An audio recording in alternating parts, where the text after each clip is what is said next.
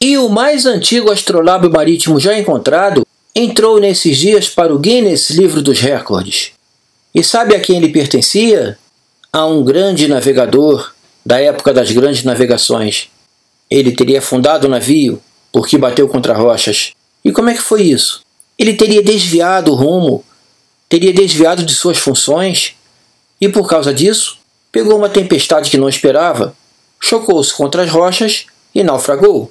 E nesse dia 18 de março foram encontrados artefatos nesse naufrágio que são, hoje em dia, as peças raras mais caras do mundo em arqueologia marítima. Vamos saber dessa história? Vem comigo!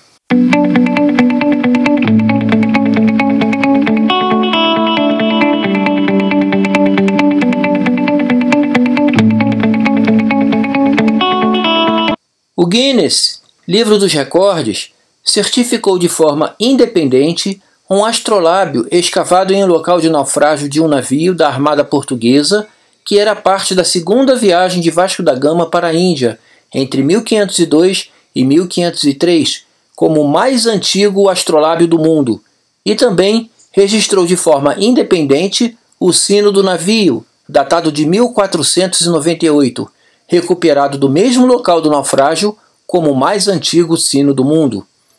O processo científico de se comprovar que o disco trata-se de um astrolábio por imagens de laser foram descritos em uma publicação por Mearns and Jason Warnett e Mark Williams, da VMG, na Universidade de Warwick, no Journal International de Arqueologia Náutica.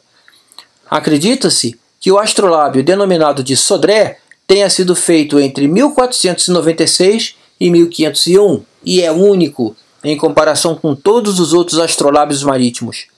Os astrolábios eram utilizados para navegar pelo mar pelos antigos navegadores, mais notadamente entre os portugueses e os espanhóis. Eles serviam para medir a altura das estrelas, para que assim esses navegadores pudessem calcular a posição do navio. Estes são considerados os mais raros e mais caros artefatos até então encontrados em navios ancestrais naufragados, e apenas 104 exemplos desses existem no mundo. Eles foram utilizados pela primeira vez em uma viagem dos portugueses pela costa da África em 1481. A partir daí, astrolábios eram considerados instrumentos confiáveis para navegação durante as mais importantes explorações marítimas do século XV incluindo as navegações realizadas por Bartolomeu Dias, Cristóvão Colombo e Vasco da Gama. Ele é o único astrolábio tipo disco sólido com uma procedência verificada e a única espécie decorada com um símbolo nacional, o brasão real da Armada Portuguesa. O fino disco de 175 mm de diâmetro foi analisado pela equipe da VMG que viajaram para Muscat, em Oman, em novembro de 2016 para coletar escaneamentos feitos a laser de uma seleção dos mais importantes artefatos recuperados do local do naufrágio. Comandado pelo tio do famoso explorador Vasco da Gama, que descobriu o caminho marítimo para as Índias, e a, a fortemente armada Esmeralda deveria proteger as rotas de comércio durante a Quarta Armada para a Índia, a qual partiu de Lisboa em 1502. Ao invés disso, o capitão Vicente Sodré navegou com seu navio para o Golfo de Aden com a intenção de saquear e queimar navios árabes. Em seu navio, juntamente com outros da esquadra, que naufragaram durante uma inesperada tempestade, os atirou contra rochas em 1503. O naufrágio foi pesquisado pela equipe do Reino Unido em 2013 e o sino quebrado foi então encontrado próximo ao local embaixo de uma pedra.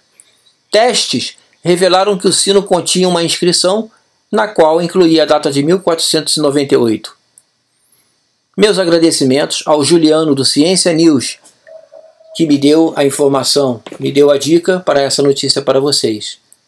Link do canal do Juliano na descrição do vídeo, junto com a fonte da informação. Muito obrigado, Juliano. Muito obrigado a todos que assistiram o vídeo até aqui comigo.